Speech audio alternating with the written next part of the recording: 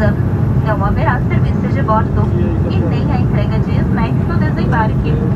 Lembramos que a máscara deve ser utilizada corretamente durante todo o voo, podendo ser removida apenas para a injeção de líquidos e para alimentação de clientes menores de 12 anos, idosos e pessoas com dieta especial.